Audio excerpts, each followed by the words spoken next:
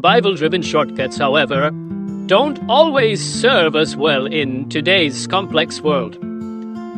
While they save time and effort, cognitive biases can distort reality, reinforce misinformation, and lead to poor decision making in areas like business, politics, relationships, and even self perception.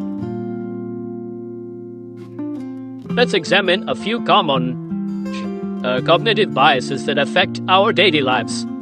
Confirmation bias. This is the tendency to seek out, interpret, and remember information that supports our existing beliefs while ignoring contradictory evidence. Example If you strongly believe a particular diet is the best, you may only read articles that confirm this belief and ignore scientific studies that suggest otherwise. Anchoring bias. This occurs when we rely too heavily on the first piece of information we receive when making decisions. Example If a store lists an item as 50% off its original price, you might feel like you're getting a great deal, even if the item is still overpriced. The halo effect.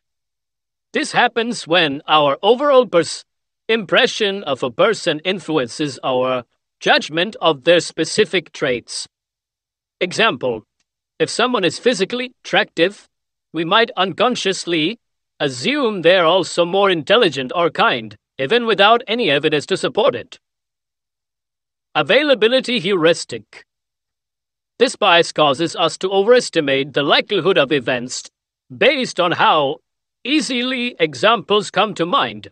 Example After watching news reports about plane crashes, People may believe flying is more dangerous than driving, where statistically, driving is far riskier. And my favorite, the Dunning Kruger effect.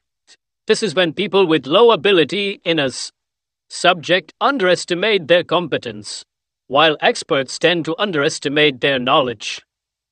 Example A novice investor may believe they can outsmart the stock market, while experienced traders recognize how complex and unpredictable it truly is.